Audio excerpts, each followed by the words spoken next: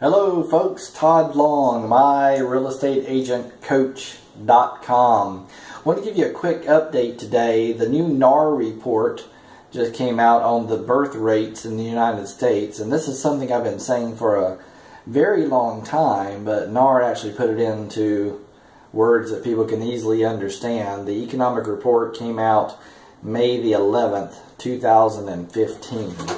But basically what NAR is saying is that we can support about 1.5 million homes per year. There's about 3 million people added to the population. You take the people that die and the people that are born and then the immigrants that come into the United States and we add about 3 million people to the population every single year.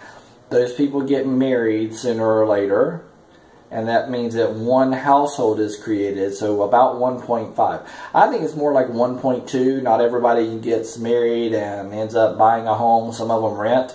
So I actually watch a number of about 1.2 million housing starts to know when we're getting near the peak of the market again.